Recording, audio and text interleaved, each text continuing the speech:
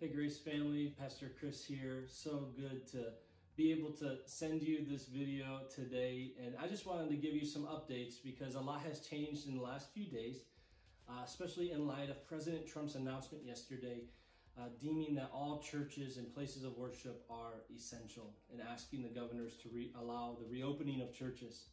Now, with that, I, I just want to say I'm thankful that our president uh, has a view of places of worship being essential However, uh, that is not going to affect the plan that we have put into place with our board and our staff over the last few weeks.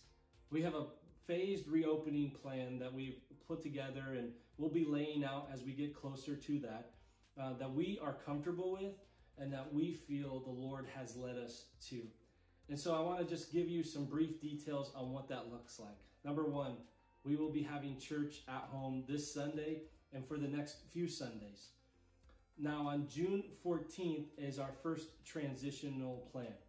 On June 14th, if we're in the yellow phase at that time, we plan to have drive-in church here on the property that Sunday morning.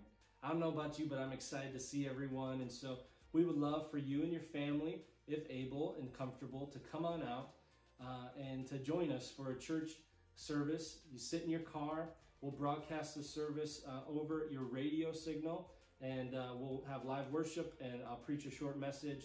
This will be probably a one hour service. The building will still be closed, and there will be many different things that we have to put into place before we're ready to launch that. And we'll let you know well in advance what you can expect that service to look like.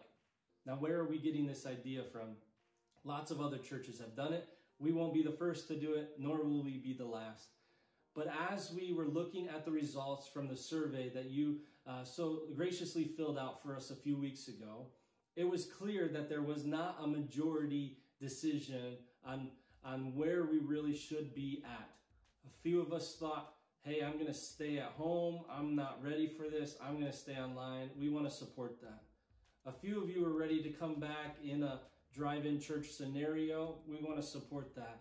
And then uh, a portion of the church, not a majority, were, hey, I'm ready to come back right now like we were on March the 7th. So while there are different, uh, you know, points to, to take into consideration, many details to take into consideration, we believe that the Lord has led us to June 14th, uh, being the Sunday that we move, if able, to uh, a drive-in church service like I said, many details to be figured out what that will look like for us, but we're excited about that. But we wanted to let you know we've been planning, we've been preparing. We've been using this time to clean out some closets and, and do some updating with the church and uh, get some projects done as well. So we're thankful for what God has done in this season. Man, I can't tell you the testimonies and the stories of people that have shared our services or people that have watched our services or people that have connected to our church this time. We've had small groups have new people added to their small group during this time. And so we're excited about all that God is doing even while we are isolated in quarantine. We hope that you're doing well today. And as always, if you have any questions, I would love for you to email me. My email is chris at graceagpa.org, or you can call or text me. And uh, we would love to answer any questions you have about our plan. Uh, it's a phased in approach, like I said, and so there are more markers to hit along the way as we as our goal is to get back in the building, worshiping under one roof together. And so we look forward to that day. But until that day, we want to ask you, I want to ask you as your pastor, Stay faithful to joining us for services on Sunday. Stay engaged to the Word of God. Allow your kids to worship with us on Sunday during our kids service. Pastor Aaron and his team are doing an incredible job. Stay faithful to giving to this house. Maybe you forgot uh, your tithe and your offering over the last few months because you're not in the regular routine. I want to let you know God's church is advancing and he's been faithful to us. But I just want to encourage you, maybe if that's you this morning or this afternoon, whenever you're watching this video, stay faithful in your giving.